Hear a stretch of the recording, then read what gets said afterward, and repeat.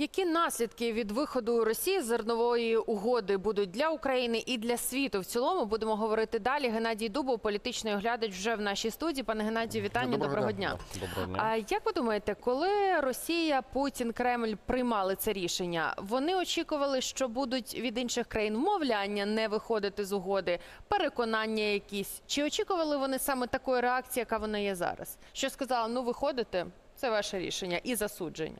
Ну, Лізти їм в голову справа така не сильно вдячна, але так чи інакше вони на щось розраховують і розраховують до цього часу. Тому що, якщо ми послухаємо риторику самого Путіна, він готовий повернутися до відповідної зернової угоди у випадку, якщо його умови будуть виконані. Тобто, це момент шантажу, момент ставлення себе як відповідно величини в загальносвітовому просторі. Тобто. Показник того, що його вимоги, його шантаж має до чого призводити. Тому що якщо ви із дня в день, із місяця в місяць вимагаєте чогось і не отримаєте цього, то ви виглядаєте як мінімум смішно з точки зору всього світу, тому що тоді ваше слово нічого не коштує.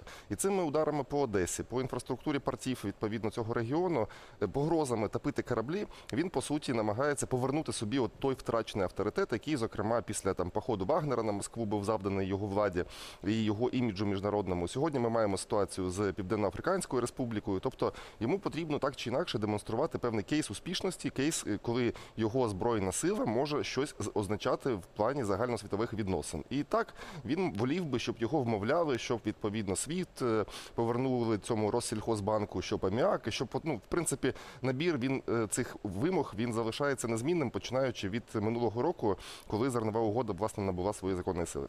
Але ж е, дивіться, от такий от е, теж іміджевий момент. Е, Ви Російська Федерація виходить з зернової угоди. Три доби поспіль летять ракети в українські порти. І от сьогодні повідомлення було. До речі, в своєму зверненні Володимир Зеленський торкнувся також цієї теми. 60 тисяч тонн збіжжя українського знищено в цьому терміналі в Одеському порту. І це зерно, яке було призначене для країн Африки і Азії. І, і, і от Путін своїми ж руками нищить те, з ким він намагається домовлятися, там, в тому числі в рамках БРІКСу.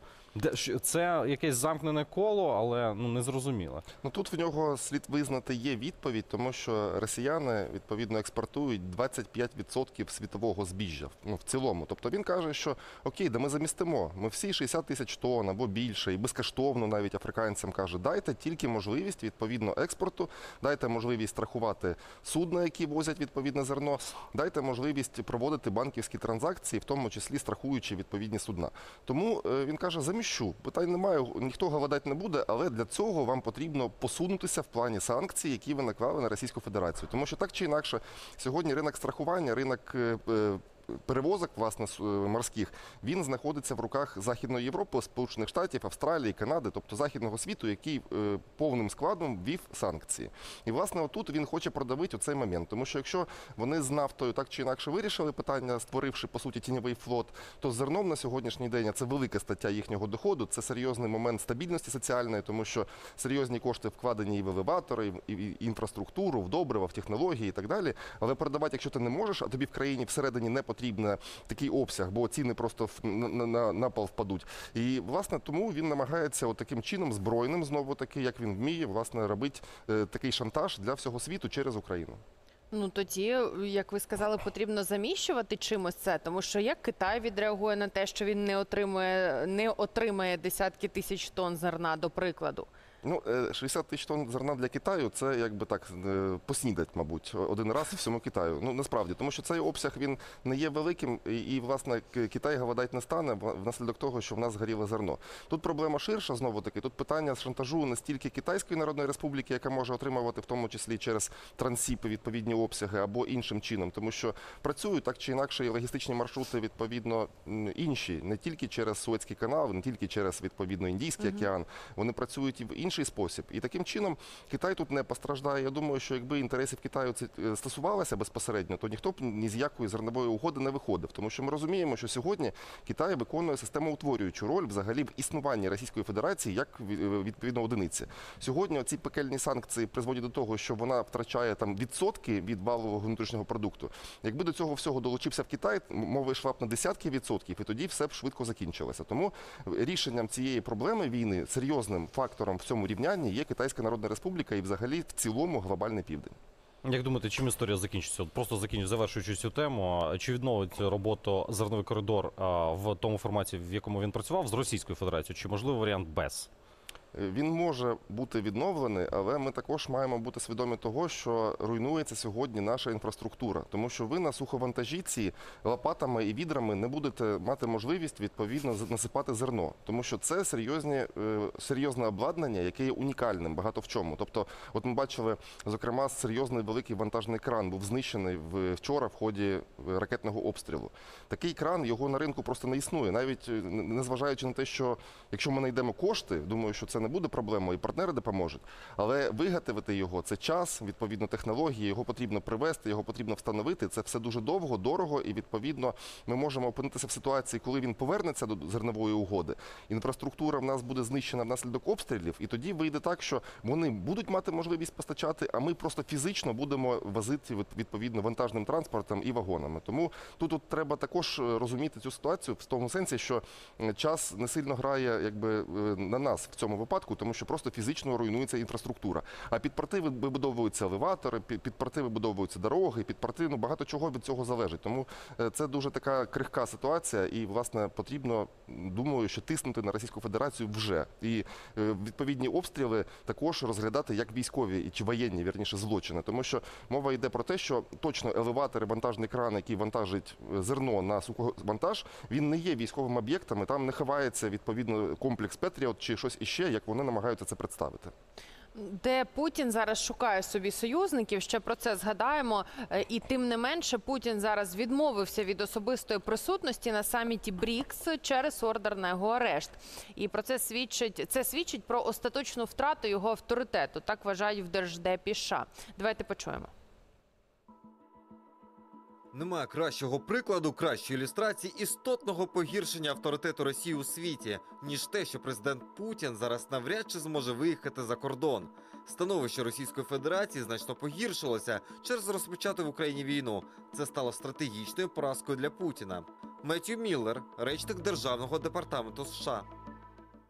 Ну і тут питання того, хто кому радий, хто не дуже, тому що насправді е, пар офіційно поперед... ну вірніше не попередили, а сказали про те, що якщо Путін приїде, ми будемо змушені його арештувати. Після цього е, Кремль прийняв таке рішення, що поїде Лавров чи хтось там ще якась інакша делегація. А арештували б, як думаєте? Ну він би не поїхав, якби розумів, що його арештують Е, сьогодні. З точки зору їхнього законодавства, їх міжнародних зобов'язань, вони не могли не арештувати. Тобто до саміту БРІКС їм повинна е, вони мали прийняти рішення про вихід відповідно з Римського статуту і таким чином втративши необхідність е, арештовувати Путіна. Але знову пар це. Парламентсько-президентська республіка, там є правляча партія, відповідно, там понад 60% в парламенті вона займає. Вона ж по суті обирає президента. І таким чином сьогодні також по суспільству існують соціологічні опитування. От в пар серед країн БРІКС найменше сприйняття Путіна позитивне. Тобто там е, коливається десь там біля чверті населення його лише сприймає позитивно. Ну, припустимо, в Індії мова йде про 60 плюс відсотків. І таким чином, якщо у вас парламентська республіка, ви всім парламентом збираєтесь як представники відповідного народу Південно-Африканської Республіки і голосуєте за те, щоб виходити з міжнародних зобов'язань лише під один єдиний віз- візит людини, яка у вас всередині країни не користується популярністю, ви можете спровокувати відповідну політичну політичну кризу. І таким чином, чи вартує воно того? Е, Чи вартує воно того, щоб е, рвати відносини відповідно з західним світом? Поки Південно-Африканська Республіка має набагато менше претензій, ніж та ж Бразилія, Індія або Китайська Народна Республіка. Тобто це дуже дорого було репутаційно, організаційно і політично для відповідно африканців. І таким чином вони домовилися із росіянами. Вірніше сказали, що ми не підемо на те, щоб виходити з міжнародного договору лише під один єдиний візит. Типу, ну нічого страшного, посидиш в зумі. Ми з БРІКС також не виходимо, але говорити про те, що це є показником того, що авторитет росіян впав просто кудись, е, де вже його не можна буде побачити, мабуть, на сьогодні не можна, тому що так можна буде стверджувати, коли формат БРІКС стане БІКС. Без букви Р, відповідно, без Російської Федерації. Сьогодні так чи інакше вони є фактором зовнішньої політики, вони є фактором глобального півдня. Вони користуються серйозною популярністю в Китаї, в Індії. Ну це от по суті дві ключові держави, за які нам потрібно боротися для того, щоб завершувати це протистояння нашою перемогою. Тому що так чи інакше, сьогодні 50 країн світу ввели санкції, е, 150, відповідно майже не ввели санкції. Передусім в силу сили Китаю, в силу сили Індії і в силу того, що всі ці країни намагаються під себе перелаштувати світовий порядок. Тому от тут от десь протистояння це сьогодні е, цей раунд виграв західний світ через ордер Гаагського суду. Це позитив з точки зору того, що дійсно авторитетом авторитету росіян завданий ще один удар, але це не нокдаун, не нокаут, це лише там третій, четвертий раунд протистояння, е, і певний удар пропустили росіяни в цьому контексті. Але говорити і святкувати вже в силу цього ми, мабуть, підстав не маємо. Теоретичне перенесення кудись, е, та навіть в Російську Федерацію. Вона ж не є підписантом Римського статуту. Ну, так само і в Китай, в Індію, і Бразилія не є підписантом, наскільки я пам'ятаю. Ну, але навіщо? Тобто тут е, зустріч сама по собі в 2-3 дні на полях відповідно саміту БРІКС. Е, Бо БРІКС це майданчик просто поговорити, тому що е, нічого не заважає їм провести двосторонні зустрічі, або з якоїсь певної нагоди там зібрання групи 20, або там Шанхайської організації співробітництва, або в третьому якомусь форматі зібратися, поговорити. Е, Врешті-решт, знову таки, є закритий зв'язок. Тобто там, там не так, що збираються великі люди глобального півдня і вирішують отут і зараз питання. Це більше символічне значення. І символічно переносити в силу того, що Путін має там бути, ніхто не стане, тому що ми розуміємо роль Росії в БРІКС, вона не є ключовою, вона не є визначальною. Вони мають там 2% світового ВВП, на відміну від того ж Китаю, який має 15. Тобто, ну так чи інакше, ну воно е, знаєте, як є в тих же росіян е, прислів'я овчинка виділки не, стоїть. Да? От тут приблизно та сама ситуація. Немає сенсу. Немає сенсу з одного боку його і арештовувати, е, тому що. Це порушить певні баланси, які складаються всередині цієї конструкції всієї. А з іншого боку, немає сенсу змінювати щось для цього візиту. Наступна тема переламним моментом в історії Росії назвав бунт Пригожина міністр закордонних справ України Дмитро Кулеба, адже Володимир Путін не знищив заколотника, а пішов із ним на торг. За словами Кулеби, коли Пригожин розпочинав свій бунт, він мав абсолютно серйозні наміри. А тому головним уроком його заколоту була демонстрація слабкості режиму Путіна для всього світу, і зокрема для російського народу. Він хотів створити умови, за яких його визнають джерелом справжньої влади в Росії. Скажу так: я не пророк, щоб передбачати всі можливі сценарії, але все ще не ясно, що змусило його змінити свої наміри, які аргументи переконали його. Весь час свого правління Путін завжди відкрито знищував своїх ворогів і намагався робити це якомога переконливіше. Цього разу він не знищив Пригожина, а пішов на угоду.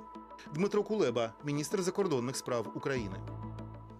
Ну, от ставлення Кремля до Євгена Пригожина змінювалося впродовж всього заколоту. Путін був змушений укласти угоду з ватажком вагнерівців. Так вважає очільник британської секретної розвідки е, Мі 6 Річард Мур. Він підтвердив, що Пригожин живий, перебуває на волі. Після повстання, ну а на Путіна, вочевидь, чиниться тиск всередині Росії саме через його реакцію на цей бунт.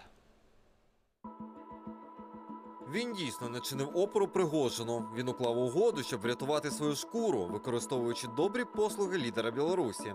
Якщо подивитись на поведінку Путіна того дня, то Пригожин почав, я думаю, як зрадник за сніданком.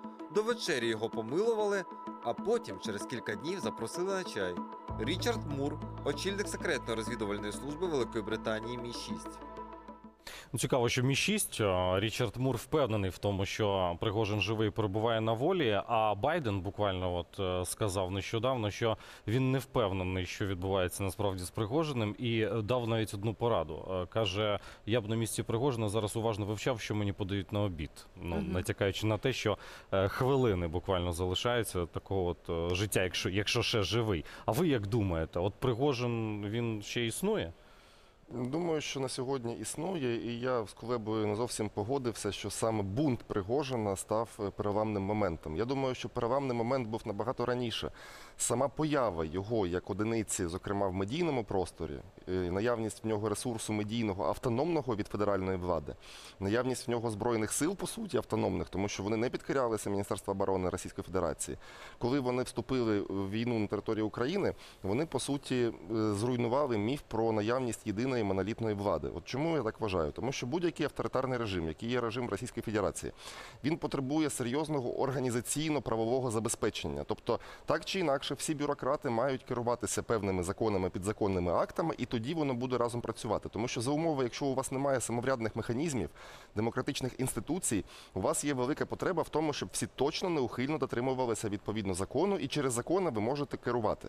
Тому що такою великою країною в ручному режимі керувати в принципі неможливо. Там процесів настільки багато, що ви просто ну не можете, який би ви не були там тиран, деспот і так далі. У вас фізично немає змоги відповідно е, впливати на всі процеси.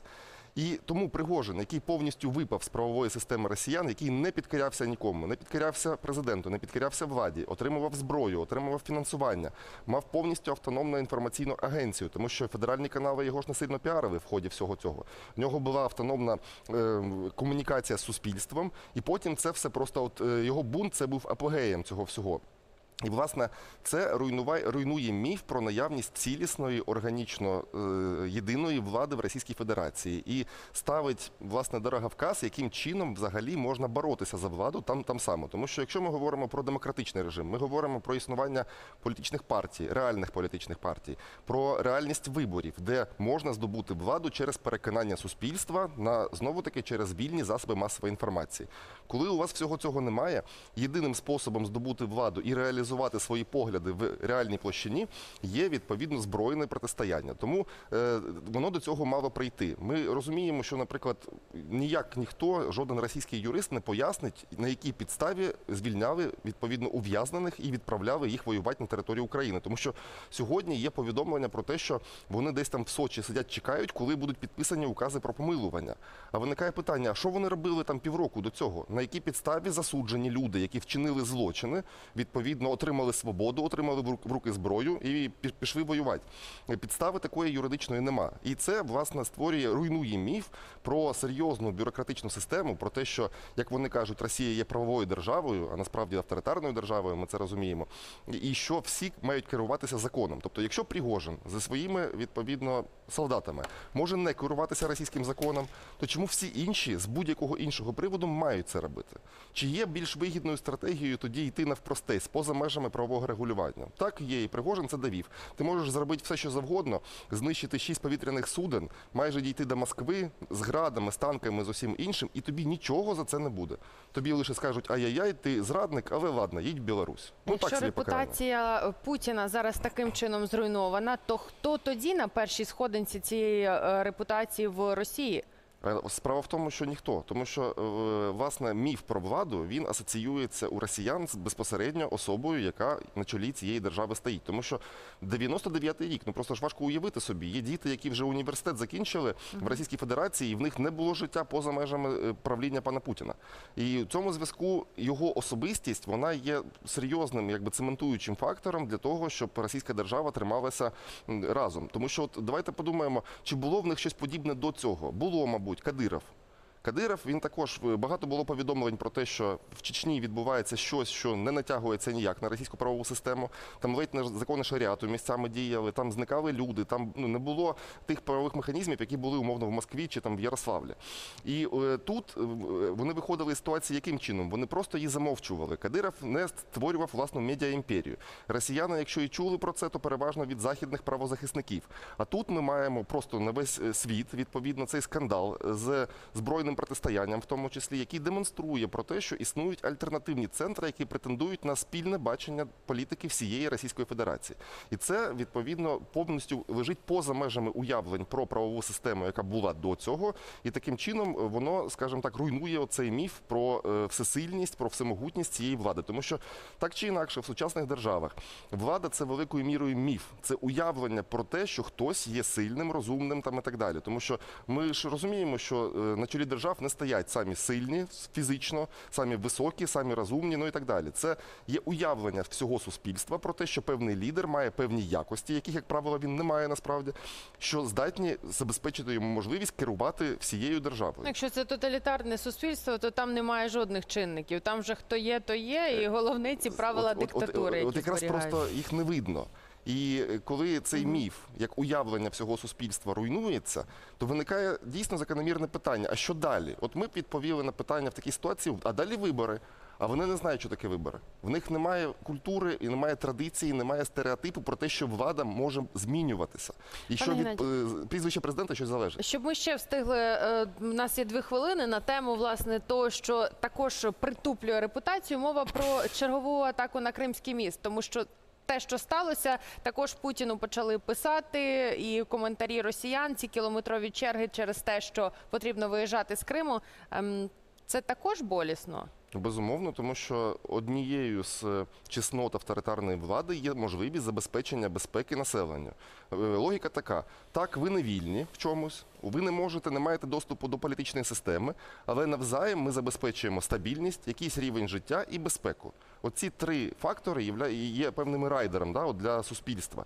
Якщо із цього випадає добробут, випадає безпека, випадає взагалі е, розуміння стабільності вашого існування, тоді виходить питання, виникає: а навіщо вам ця влада?